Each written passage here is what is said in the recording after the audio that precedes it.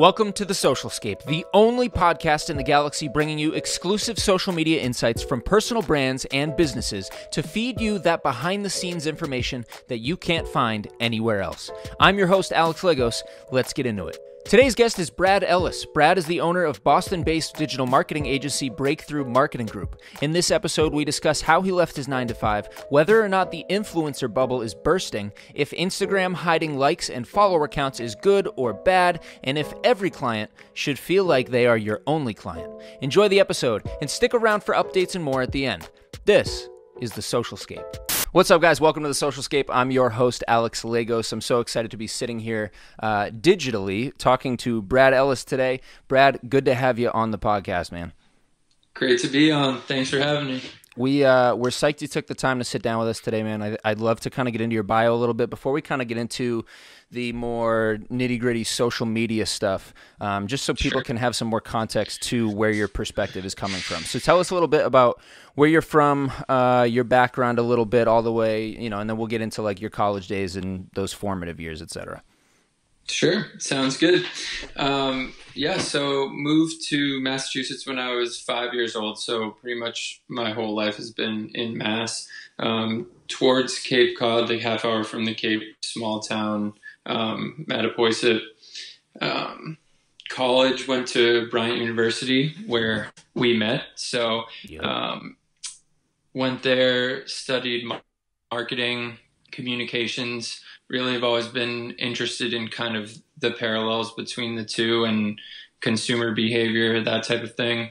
Um, got out of school, worked for a couple of years doing outside sales at a small media company, and my role there, among other account executives, was kind of ushering in the digital age. They had kind of predominantly been print for a while, um, so bringing in new kind of digital landscapes um, to small business owners, and you know it was beneficial for me in that there was you get a lot of freedom in those type of roles. Um, so it was nice to kind of be able to dictate your schedule, kind of coordinate your days. That really taught me a lot about time management and also tailoring certain you know conversations with different business owners from different industries um, depending on their needs or their goals so that was that was a super beneficial experience um, but i had just kind of i needed something new i got it got a little bit like redundant for me. I kind of am always looking for what's next. So from there, I went worked at Colette, um, which was in Rhode Island, and I had more of an internal, like inside role. I'm still an account executive, doing more of the. So just for people that don't know, it's a vacations company. So doing more of like the logistical sides and planning. Um, different avenues of, of vacations for people. Did that again for, you know, year and a half, two years, something along those lines. Uh, I was commuting from Boston to Rhode Island at the time, which Yikes. I wouldn't suggest to anyone. It was tough. How so long that is that drive? It depends on the day, but at a minimum, I mean, like no traffic, a little over an hour, but it would be an hour and a half to two hours most times either coming there, go, uh, heading there, coming back. Mm-hmm. So I mean, you're in you're in the car at least for three hours a day.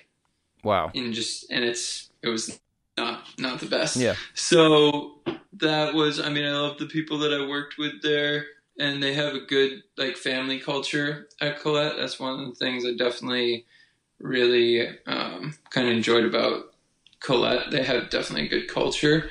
Um, but again, found myself like almost, you know, similar kind of cadence where it was like, okay, it's almost like once you get something down well and you're, you really hone in on it, it's like, okay, time to take it to the next What's level. Next? Yeah. Yeah. So, so when you started, I'll jump in. When you started to, mm. uh, obviously happy at Colette, it sounds like everything was good, but obviously started kind of wanting more.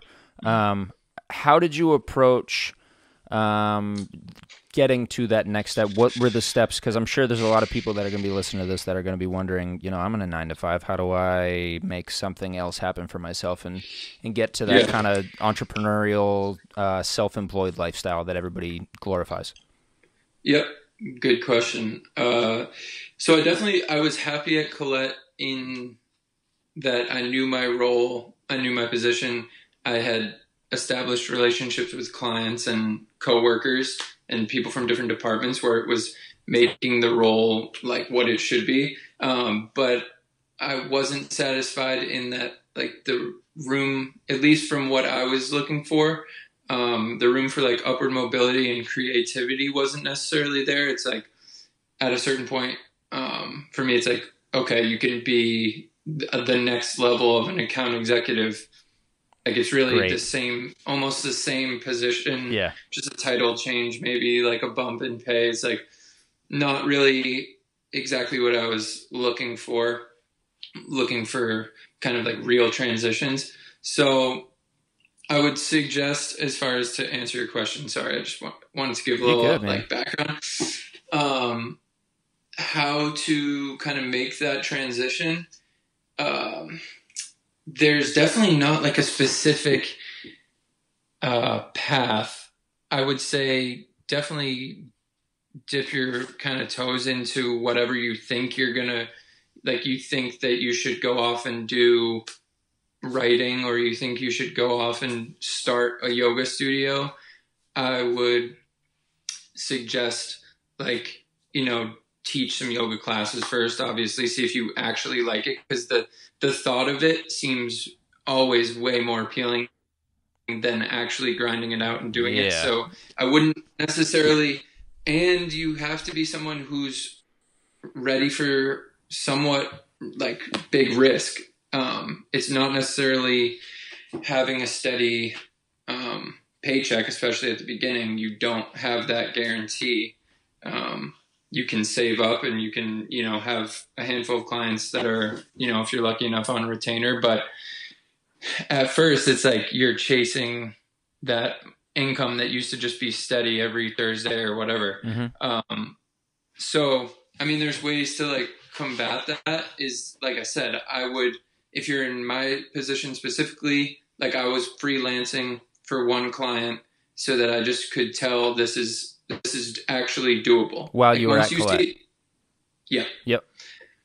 um so it's like and it wasn't like the same offerings as this Colette or anything Of like course, that so yeah. it's like completely different but the whole um the whole premise being like actually go do it and get a check off of it so that you know that you can make money doing it that's Mhm. just the reality it's like it sounds great but until you can actually bring it to fruition Yeah. um, at the same time once you do decide to do it uh, you got to go full steam And so that's like kind of um, contrary to what i was saying but when you're you know I, I would say when you're thinking about it trying to set up this situation kind of do it on the side. Yeah. and then if you really realize like this could happen i'm going to go into it. You have to be super obviously passionate about it. Um, but then you have to be i would say like methodical in i mean take the time that you're working. We would be working at your nine to five or whatever and really work on what you want to do. And the results are it's it's insane that's Yeah. what i was always thinking when i was sitting there um, at all these jobs i'm like if i was putting these this time to actually concentrated effort and Yeah. like deep deep work not necessarily just sometimes uh, you know emails or these different things that weren't necessarily Yeah. um, yeah you get it Yeah. um, Well, and, and so how long were you? And I don't want to spend too much time on this because I want to get back to the social Mm-hmm. media stuff because uh, hashtag Socialscape. Um, but yeah how long were Cut you doing? How long were you doing both? Uh, so, so, So how- freelancing and that Yeah, at the same like time. three to three to four months Okay. not And too long and then that was when you made the decision of like, oh, I can definitely do this. This can definitely supplement. So I have been wanting to kind of head off and do my own thing for probably a year of the year and a half or whatever. Yeah. Like almost, you know, like six months in, nine months in, I'm like, all right, we got yeah, there's the a better way. There's a better way. Yeah. It just it was so like repetitious and I saw a lot of and, and like I said, it's different for everybody. So, I mean, there's definitely value in like the security of those type of jobs. Yep. Um, but it's just a matter of your personality. Like if you, I get fulfillment from different things than other people might. So I get fulfillment from like having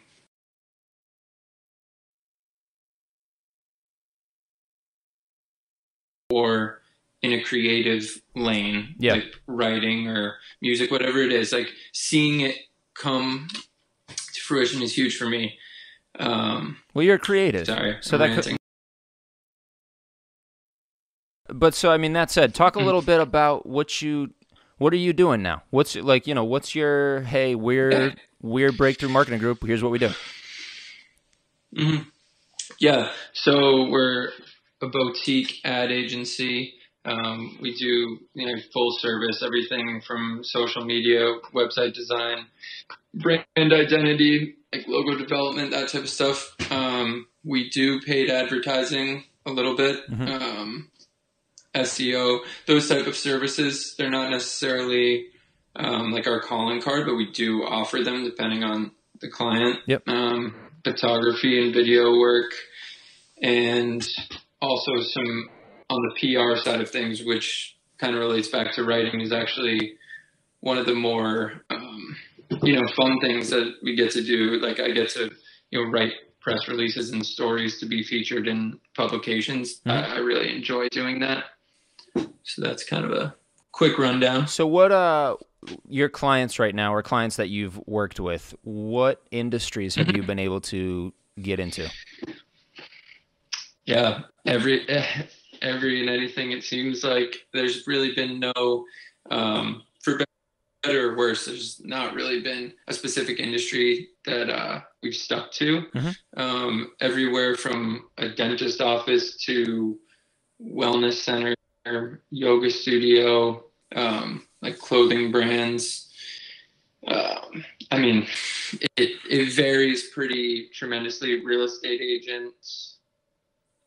Uh, yeah, it's A little bit of everything. Wide Good. range. Yeah. which has been yeah, which is I think going back to my days at um, the media company. It's called South Coast Media. So um, days at South Coast, uh, it was similar in that it was such a wide range of people that I was working with. So that taught me um, the ability to kind of um, talk to different people from different lanes and different perspectives.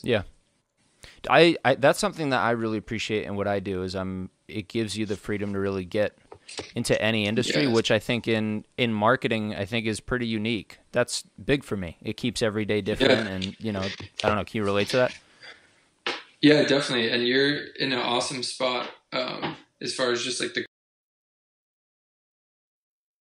creatives and musicians specifically, but just all different walks of creative kind of industry.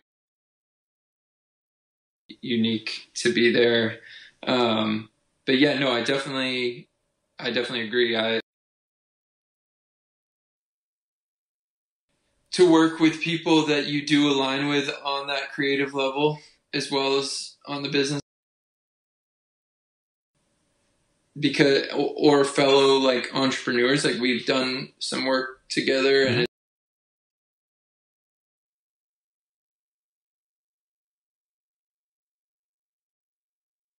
it's just like strictly the business side. Sorry that off. Um, so that said, you're working with people from all over the place, from you know different industries, different perspectives, different mindsets, and a lot of times that comes demands. Um, and you and I had a we started to have a chat the other day on the phone because we have a lot of phone calls together on the phone, and Yeah. uh, and we get into a lot of kind of more grandiose topics. And we thought, oh, this is one we definitely have to take to podcast platform. yeah And the question that I asked you was Do you think that every client should feel like your only client?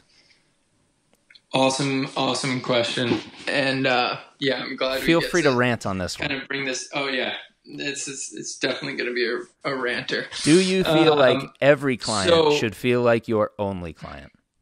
Right.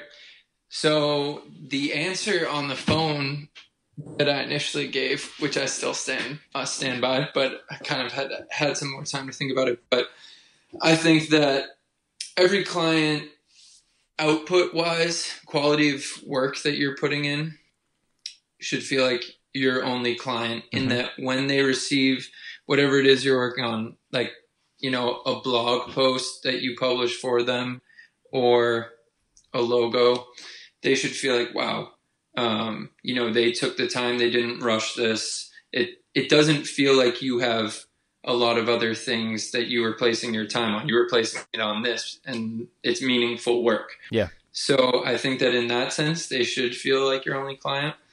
Um, I sense a butt. Far, yeah, it's a big, a big butt. Yeah. Uh, um, I, as far as accessibility, and this is actually. Oh man, uh, do it. your only client, and that actually is for their benefit too. Definitely for your mm. benefit as an entrepreneur, giving you peace of mind so you don't get completely burnt out. Um, I would say the irony is that the accessibility is something that for me and you, we're both super accessible, almost like 24 7. Mm-hmm. Um, almost to a fault though in the business sense because i think, uh, as I started to say, the irony is that when you start, that's part of your unique selling point. Right. Is like, okay, uh, you could go work for. It's basically when you start, um, you know, cost is a big thing, and then, I mean, accessibility. If you're one person or a couple people, yeah, um, you can go to someone and say, you know, when you call, you get the principal yeah. decision maker. It's so easy to lump it into intimacy. Whenever where it's like, hey, you get me, man. It's not like I'm passing you off to my sales team and you're going to work with some agent who's, you know, yeah. some college kid who's getting paid eight bucks an hour or something. Yeah. It's me. It's, it's you. And so that's a huge selling point, and that's what people come to get used to. Um, so then when you start to scale up and you start to have more clients, because at the time you're like, I only have, you know, two, three clients and this potential new client wants to work with me, yeah, we're going to get it done no matter what. Like you call on Saturday or Sunday, sure, picking up, handling it then. Yep. That's just because that's the, which you need that. But then at some point, there has to be an understanding that, like, in order for me to continue to provide valuable services, um, you know, it, it, you have to set something up up front where it's like, okay, we're going to do a weekly call or, you know, two calls a week, bi-weekly call at this time, whatever. Yeah. Depending on the extent of like scope of work you're doing. Mm-hmm. But I've had to like re-implement that. Can you see? Uh, just said. I still got you. Still working? I'm still okay. Yeah. Okay. It says poor connection on mine, but whatever. Um, you need to. I, I've kind of had to reestablish that with a few different people, um, and they actually end up. I think so far it's been they they end up valuing your time and your kind of expertise in the field and the conversation that conversations that you have even more. Yeah, um, because they realize like, okay, we have this hour. Oh yeah, you know, you get to certain things, maybe you don't. If you have a specific like we're going to talk from 10 to 11 we're going to talk from 1 to 2 on these days. You come prepared with your agenda you have everything um, but when you open up full range of accessibility all distraction constantly yeah. um, so it's tough but it's tough because you do set up front yeah. And well and it's also i think for me at least and for i'm sure a lot of other people is that social media is a 24/7 gig in the sense that if somebody drops a comment on your pic at, you know, 11:30 at night, one, Mm-hmm. I'm going to see it. Two, I got to do something about it if there's something that needs to be done about it. Um, Yep. And so it's very easy to take that and then also apply that to, well, if this part of my job is 24 7, then also I should be 24 7 accessible for clients. Yeah. Um, and, and I've the reason that I asked you in the first place was because I was struggling with kind of implementing that client contractor boundary of like, hey, I'm, uh, you know, I, I can't take your call at 10:30 at night, you know, or Right. I, or I can't take your call at seven in the morning. I don't start my day at that point. Sorry, I'm not an early bird. Um, so it's you know it's really it's something that I'm still working through and trying to implement boundaries on. But I think a lot of it is is too. a lot of my issue is that because I I think of it as a 24 seven thing anyways. So why shouldn't that aspect be as well? And I know that that's incorrect. Yeah. Yeah, it's tough. It's that's a good point. It's like you in this like entrepreneurship um realm, you always feel like that anyways where it's like Yeah, at any given moment you need to hop in, you can do it. yeah, it's a Um, blessing and a curse. Right. So there, yeah, that balance is like such a fine line, and I think that I mean you make exceptions Mhm. as you do with anything. So if you have, you know, this is a reality.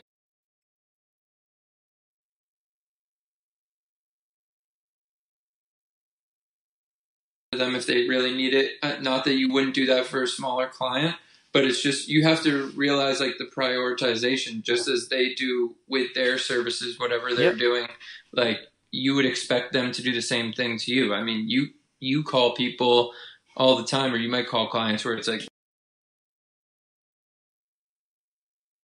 you're not an employee that's Mm. a big that's a big like Well put. yeah I like that's that. a big th- thanks i think that's a good like you have to remember that you're not their employee you you they don't have full-time access to you Mhm. even though you feel like that's part of what you're selling at some point as long as i mean you're delivering quality work that's why they're paying you um, and of course keep the line of communication open Yeah. not saying not like to you know ghost your clients or anything No, it's not Just- like it's not like we're saying when people call you're not going to pick up the phone. It's Right. it's No, more no, no. it's more of if you call me 8 times a day or Right. you call me at absurd hours or if I'm busy doing something else, the phone's not going to get picked up. Right. And luckily, um, I've been fortunate that most clients like understand that and they, I mean, they are operating business owners. Yeah. So they have honestly a lot of other priorities that are much higher up than, you know, what post is going to go out, what blog. I mean, it's important to them, but that's something that I, I've found just scheduling specific time slots for it is super beneficial. So I guess at the end of the day, the answer to should every client feel like your only client, I guess is in terms of quality of work, yes, absolutely. Yes. But in terms of accessibility, in terms of uh, yeah, I guess really just that, in terms of accessibility or in terms of their ability to make demands of you. Um, That's a better way to put it. The answer is I no. think- Yeah. yeah. Make demand. I think that's a better way to put it. Because the reality is we definitely are people like to be accessible. I like to, I Yeah. pick up the phone. Um, I hate it when people don't pick up the phone. So I understand what that's like when people don't. But I also understand it when people are busy, then people are busy. Right. And you would want that. The other thing is you would want that for your work. Like if you're working on a client's work Yeah. and another client calls, you would want to them, uh, you know, you would want them to say, okay, I'm actually in the middle of this. I'll call you back. Yep. You wouldn't want them to be scatterbrained and like, t- if you react to everything that's coming in, you're never going to get any substantial amount of work done. Yeah. And I read, uh, si- sidetracked work. I read an article um, the other day after we had spoken about this, I think, and it was talking about how um, being more inaccessible actually kind of gives you almost, and I cringed at this term, but it makes sense. It gives you kind of a more VIP feel, meaning when you and when it's perceived that way, people bring their shit. People come with whatever they need to talk about Yeah. um, Yep. and you're I think you're able to be more productive in those instances because both parties understand that oh I can't just call you whenever I want. I have to take advantage of when I have you. It's like if you meet you know you meet a celebrity advantage of that you know five minutes you Oh, have with them or whatever and you give them everything you want especially if it's something like a business pitch. I think they get the point. Um, i want to jump i want to jump into something else that's going on uh, there's an article floating around i talked about it on my instagram this week um, and it's about an influencer who has i believe 2.6 million followers um, Mm-hmm. and she posted basically confessing to her audience that she was dealing- she was yeah. dealing with a manufacturing company who I'm assuming gave her a deal uh, because of who she was. They said, "Is you know, all you got to do is sell 36 pieces. Mm-hmm. I believe they were T-shirts. Uh, you just got to sell 36 shirts, and if you do that, then we'll continue our relationship uh, on the the deal, whatever the deal was that they agreed to. And if you can't, Yep. then we can't send anything out."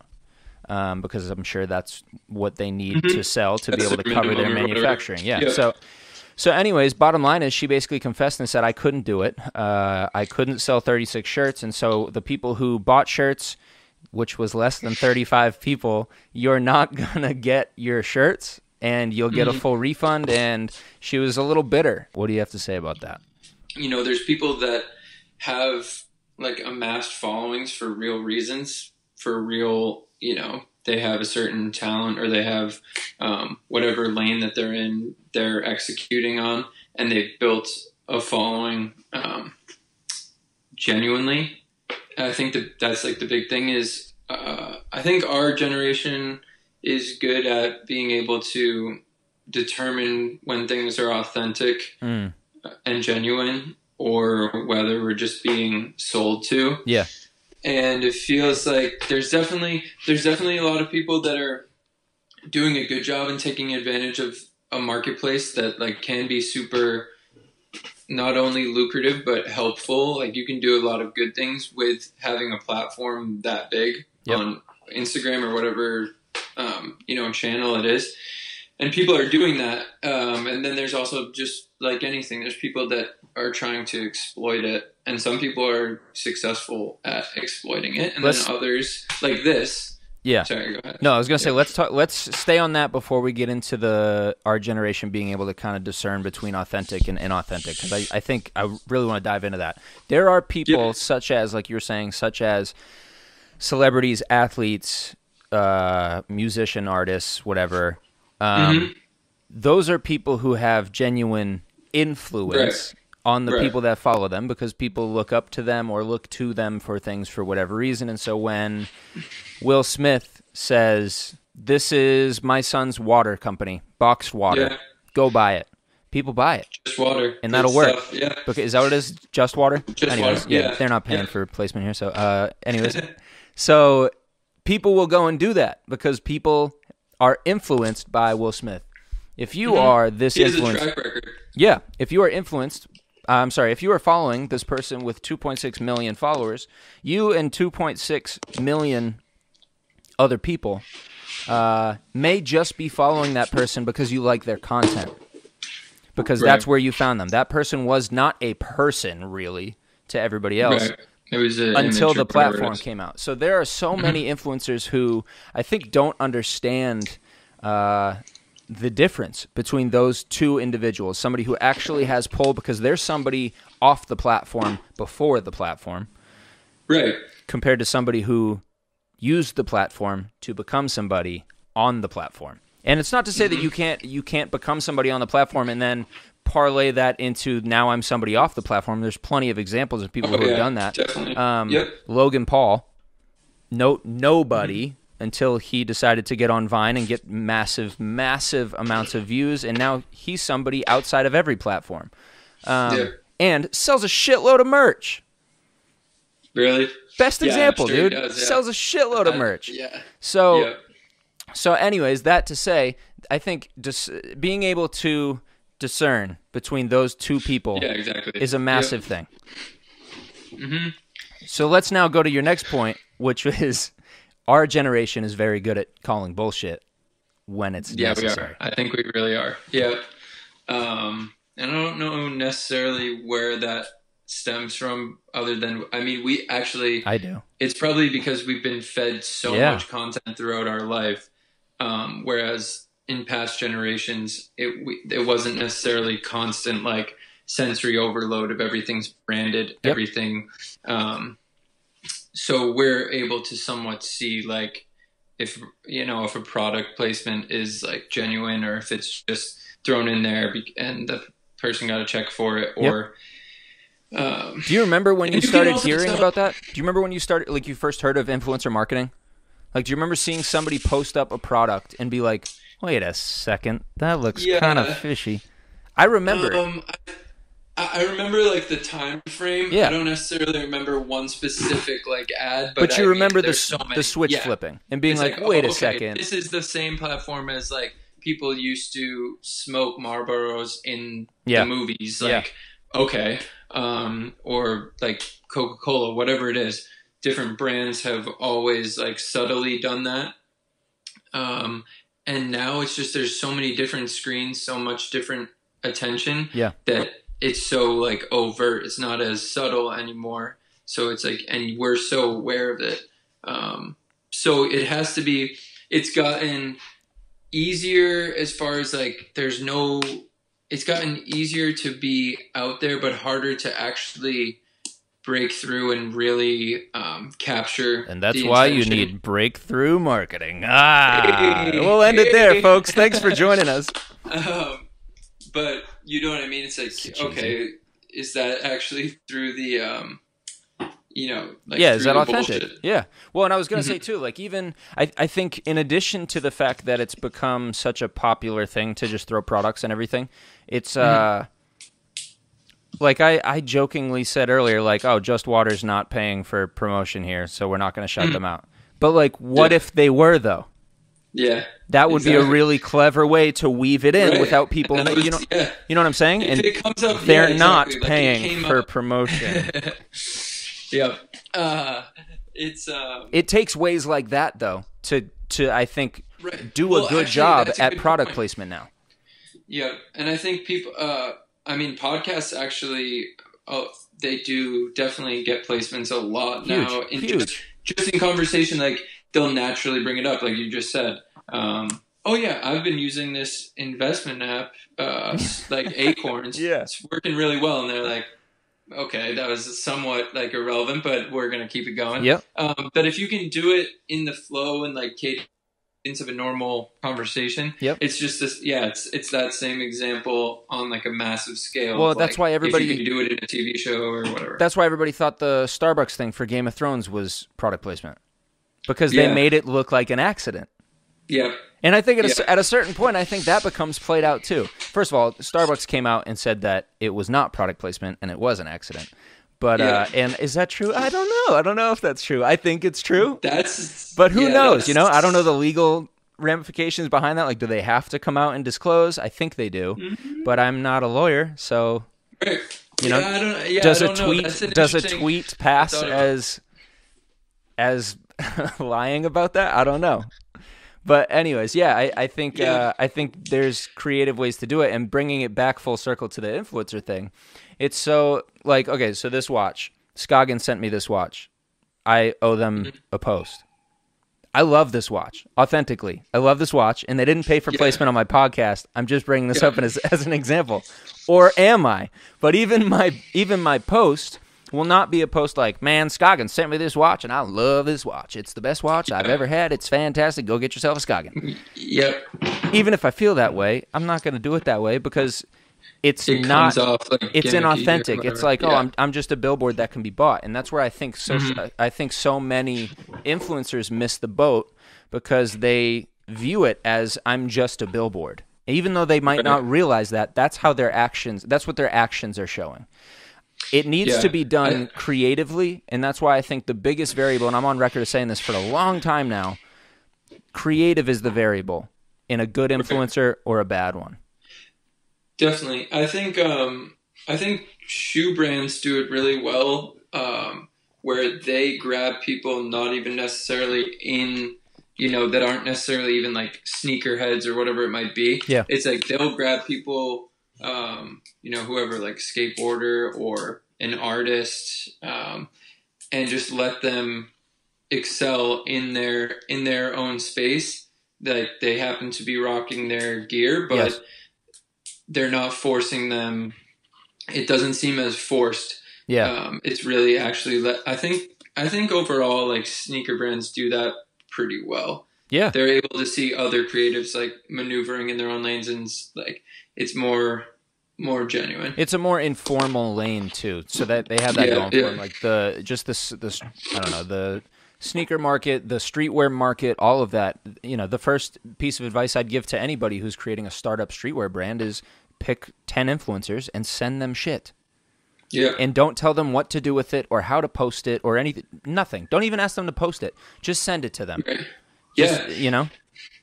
yeah like a, a handwritten note goes really far Yeah. way really long way um Well, and so in, it, that said, being real That said, bring it back like, to the original question of is it is it popping? Is it over? Have has are there so many influencers now that we just see it as bullshit? We see it as a commercial on TV or a commercial on the radio, and we just go click next. I don't want to see it anymore. I, yeah, I think the over like saturation of it may be coming to the end, but I think also people always find there's always the next like craze. Yeah. So there's always going to be an I I mean there's always going to be another platform or another way for people to do similar types of like maneuvers. But yeah, I think that it's definitely getting more like exploited and people are realizing um, people are getting a little bit exposed Yeah, uh, so dude. My biggest I my biggest pet peeve is when ins- when uh is when influencers say things like, "I'm so happy to be teaming up with." Da, da, da, da. It's like, dog, did you just take the copy from somebody else's post? Do something else. Anyways, I'm hating now. Uh, so, off of that, Instagram may be hiding uh, likes and follower counts. yeah Rumor has it it's in testing. What do you think? Yeah th- i mean this is definitely a pro and con thing for me Hmm. personally i'm all here for it i think it's a bene- i think it's going to benefit like the landscape as a whole because i think it's going to make people focus more on the content and not necessarily like feeling obligated to either like or not like something or Yep. oh they only have x number of followers like they must not be really doing it Yeah. it's like no that's not that's not the case at all clearly. Um so from that perspective i'm like totally on board and i really think it's gonna also make people um, at least how i feel about it is i think it will make people more willing to be like daring in what they post more willing to be like out there in what they post because they're not super worried about like oh if this doesn't hit a certain amount of likes Yep. like it, it wasn't it people don't like me anymore Yeah. like no that's not it um, so i think people overall i think the landscape will be more open to like newer creative posts and uh, i think i think it's going to be a good thing I think it, the I think it definitely encourages more. It encourages more posting, without a doubt, which is what Instagram wants at the end of the day. Their whole goal is to keep us on the Mm-hmm. platform for as long as possible. The more posts there are, the better. Um, yeah But I but I think for them to paint it as a as a mental health thing, I think is is a little bullshit. And a lot of people probably disagree with me on this, and that's fine. But here's what I think. I think that from like let's pretend I'm the person who I don't post things because I feel bad about the amount of likes that it gets. Mhm. There's two lanes that I could go there. Do I feel bad because it doesn't get a lot of likes and that means that people don't like me? Or do I feel bad because it doesn't get a lot of likes and then people see that it didn't get a lot of likes and then I feel bad because of that? And I think Yeah. those are two completely Well- different things. And this only solves think- one of those things. Because Yeah. I still see how many likes I have. Yeah it really i was going to say it really It's at the end public of the day, perception and that's it. Yeah, and like the deeper issue, like real mental health, like it's it's an internal issue if you're allowing those type of things to like Yeah. really alter what you're doing Yeah. and dictate. That's something you need to look inward, not externally. Even Wait, though, you mean we can't we can't blame apps for that? Dude, what? I mean, hey, uh, yeah, I think we need to all kind of take a step back and look inward sometimes. But it is definitely. I'm serious. I know you're serious. It's just like it's a whole episode in that subject if we wanted to. We could do a whole series on it. there. But no, I think yeah, it does only from an app perspective, it does only accomplish that one thing. That's it. If even that, like you said, Yeah. because you still see it, so you're like, wow, why didn't this one pop? Yeah. If I'm- if I care it about that for me, then- to yeah for for the external, which I think a lot of uh, I don't know. I mean, See what I'm saying? I think people What does it really do? to like appear? People definitely want to. It's like a signaling thing. Like every a lot of things right now are signaling for the same reason we were talking about with brands. You want to be associated with that specific brand. You want to be associated with like whatever ton of likes or someone like cool liking it. Like oh, checkmark like this stuff. Like that's crazy Sure. um, he must be associated with them Yeah. in some capacity. So he's he's balling. Yeah. Um, which it's like I, I don't know. It's just um, so I think yeah, I'm off I'm off topic, but we'll we'll see how it goes down. I'm excited we'll for it. it pans out. I, I'm excited for it too, overwhelmingly. Um, and I think it will make people also, from a like marketing perspective of when we're putting out social media stuff, we use those like metrics as somewhat of an indicator, but it's also, I mean, it's it's not always indicative of like what your results are. Like you could have No. a post that you could have a post that doesn't necessarily or a, a better example is like a blog for like specific clients where it's generated a ton of leads Yeah. um, on like their CRM and they actually get real tangible business Yeah. big business and it's like oh it, it got 20 less likes than the post the next day that was like you know happy valentine's day i think you still would rather have the blog out Yeah. right Yeah. like just because you know so that's a crazy Well, it's thing. just you got you get different things ask- out of it. It's it's about what are you looking Yeah. for out of it. And I think when you look at if you start basing I mean, yes, you obviously need to take things like likes and comments into account when you start Mm-hmm. analyzing social media posts in terms of I think direction you should go with content or copy. But it shouldn't it Yeah. should be on a grand scale. Like it it should be like you step back and look at it from further away. Like what does this look at at 10 feet? Because if you start looking at things from 12 inches from your face, you're going to be like this You one got see the whole this one got 4,500 likes. This one got 4,400 likes. Scrap that. Never posting like that. It's like, nah, dog. It should only, like that should only come into play when it's something like drastic, es- especially when you have uh especially when you have so many variables in play. Like what Yeah. day what day was it? What time was it? What was the picture Mm-hmm. of? Who else was posting at that time? You know what I mean? Like there's Yeah, so there's there's so many many other things in that you can't you can't just go off of likes.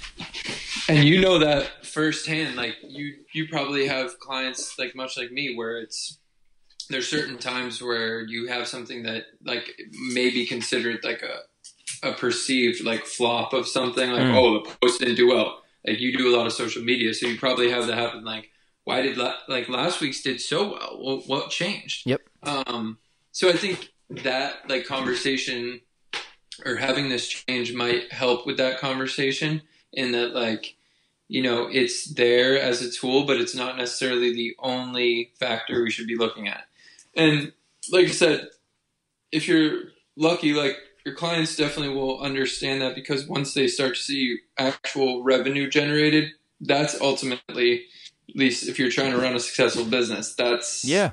Well, or, or traffic. I'm I'm a big traffic guy. Mhm. I, whether that be traffic, actually people coming into your store, people buying things off your website, people visiting your profiles, your whatever it is. I'm a big traffic guy, and so when I look at social media, I view it as that because at the end of the day, it falls under marketing, not sales. Yep At least how I run it. If you want to run it on sales, that's a totally different ballgame. But I, I run it for in a marketing perspective. And so when I look at it like that, I, I look at it as, hey, I can get people to you.